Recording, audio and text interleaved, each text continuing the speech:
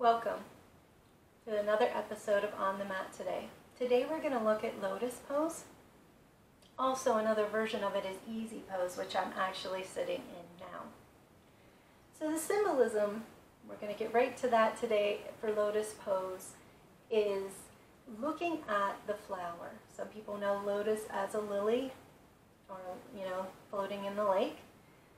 So, that flower has to grow in the water and up out of the mud. And then the flowers and petals unfold up into the light. So the symbolism there is the mud and the water is our everyday physical life, the things that we need to do, food, things that need that we need to support us, water. But within that, we need to center ourselves and also look up and unfold into our authentic self, into the light, into this spiritual awakening, whatever that looks like for you. So, the intention for Lotus Pose is unfolding, finding a place where we are centered, where we are aligned, and I'm going to show that in the pose and that in doing so, we're living our everyday life, but we're also growing into our authentic self. So, for mat support today, I have this little table beside my mat, and because I'm working just right here, um, you can take the table off a little bit away from the mat if you're going to be using the whole mat. But the crystals I have chosen are smoky or rutilated quartz, they have iron and different things in them that make them a dark and a light color. So with this pose, it aligns when we're working at all seven chakras. Now, if you don't know what chakras are, real quick, they're energy centers that go from the root of the body up and through out through the head. We will get to more on those later. But this is showing that kind of dark, rooted in the earth color, as well as the light, higher frequency. I also have here a tarot card. The Ace of Cups is called the, the Lotus of the Tarot cards. Now, I know you probably think about tarot cards, you're pulling the card to see what comes up, but we can also intentionally pull a card because this is like writing an intention down.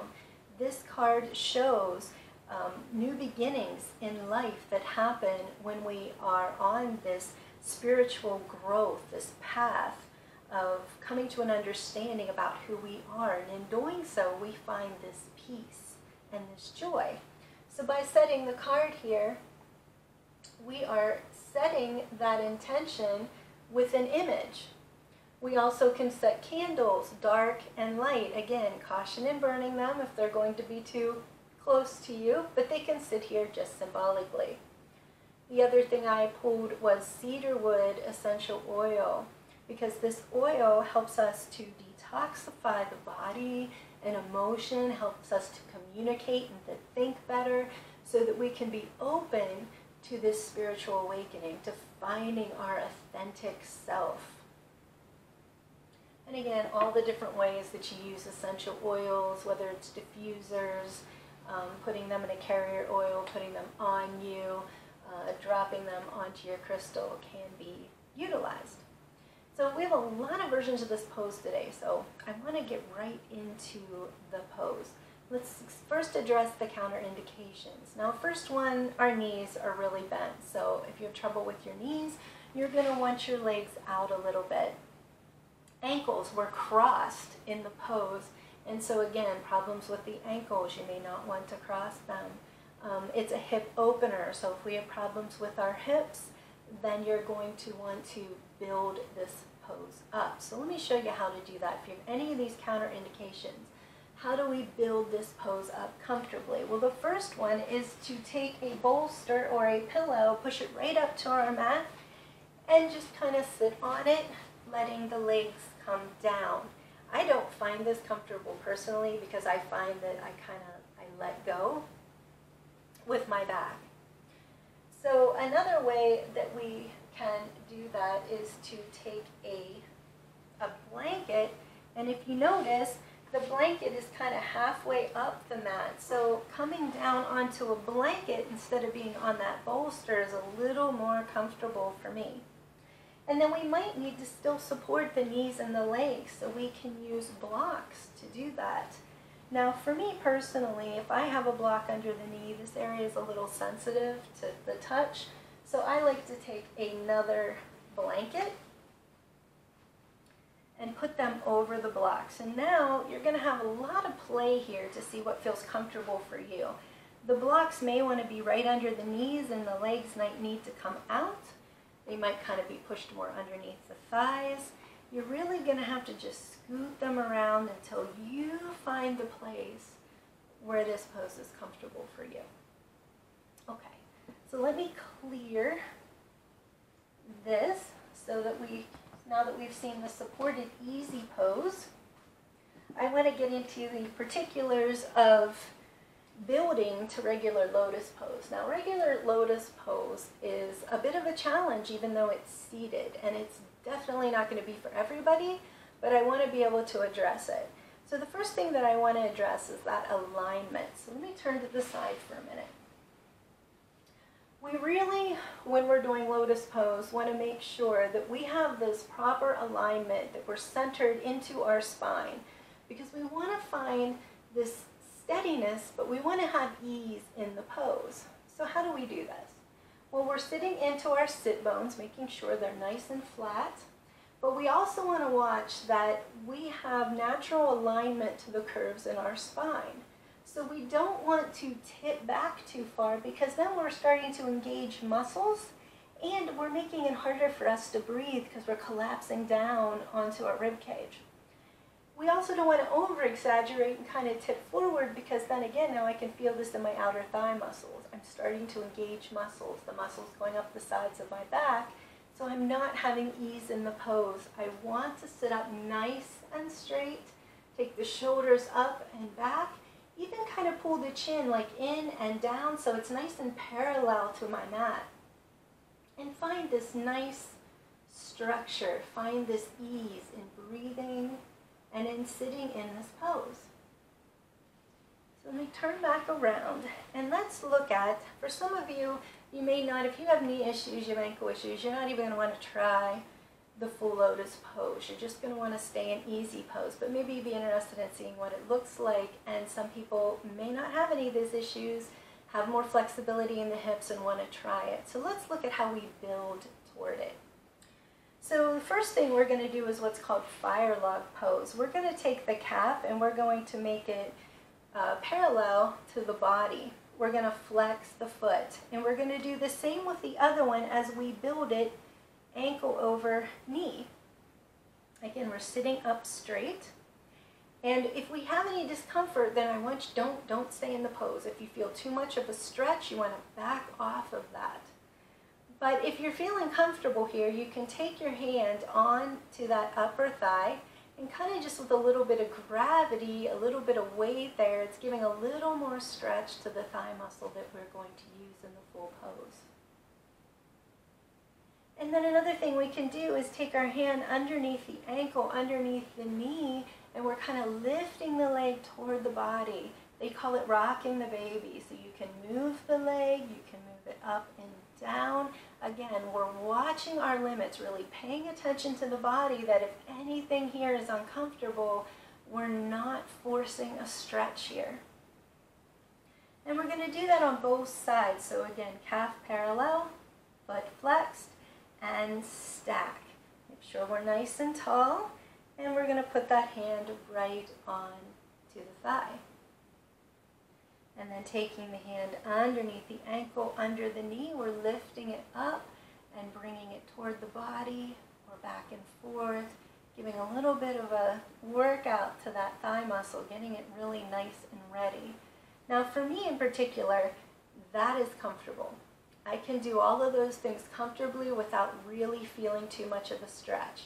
However, getting into actual lotus pose is not comfortable and as you can see, as I put my feet on top of the legs, my knee no longer reaches the floor.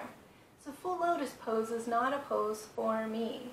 I am going to do easy pose, but I did want you to see how it looks, and it would look a little bit better in a person that had the flexibility in order to do it.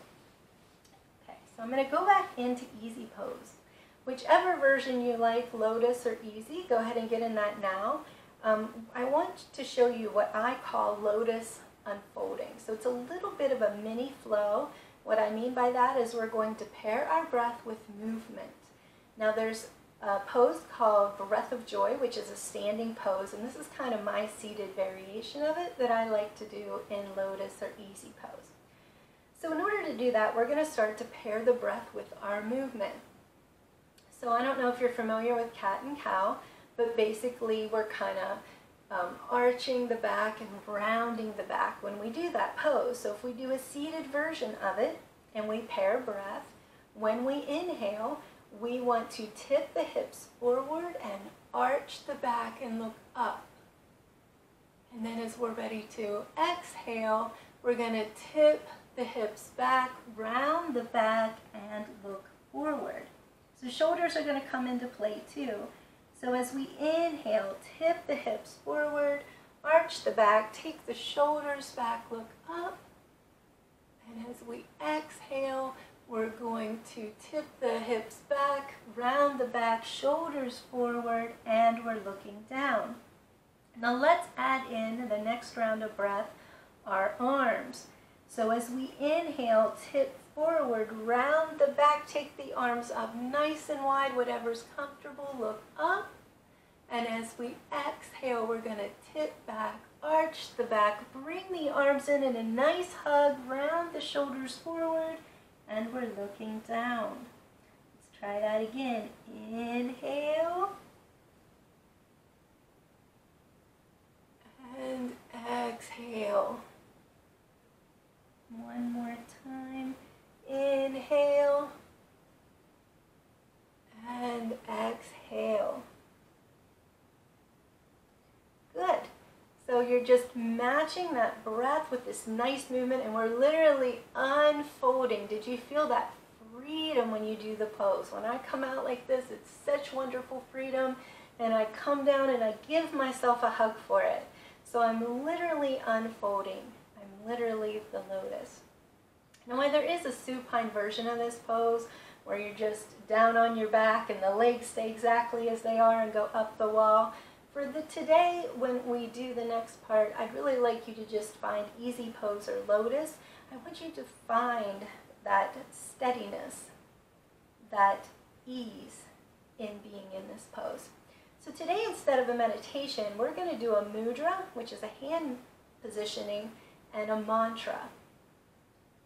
So there is a lotus mudra. And we're basically making the flower with our hands. We're going to take the sides of the thumbs together and round until the sides of the pinky to, are together, and then the fingers are our kind of petals. And we're going to pull this in to heart center. And we want to think about that flower opening to love not only for others, but love to ourselves. So we're pulling attention in towards heart center.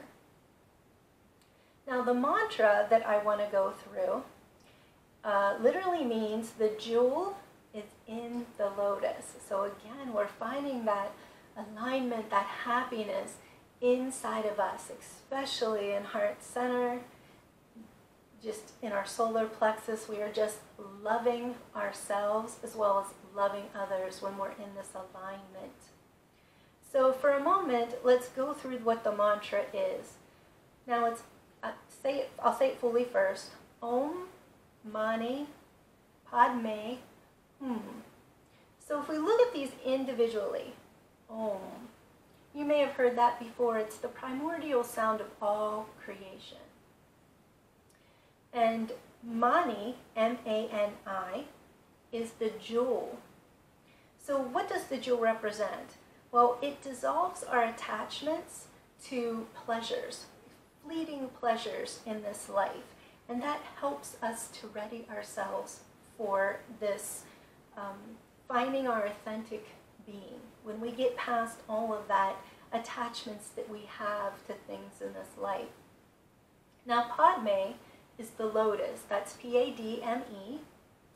And that dissolves attachments to pre prejudices and judgments. And those are not just towards others, but also the way that we judge ourselves.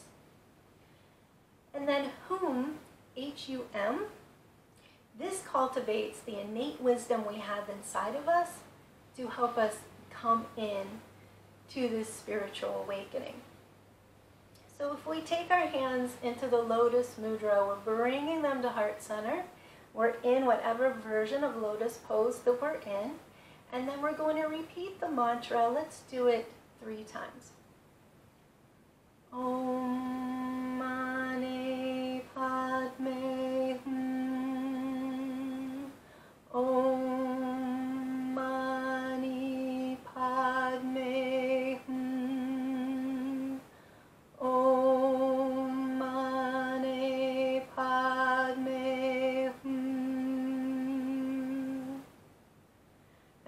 that as many times as you like, as feels comfortable for you.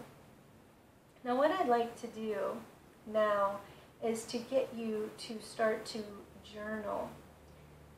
We brought up a lot of things in just these last 15 minutes.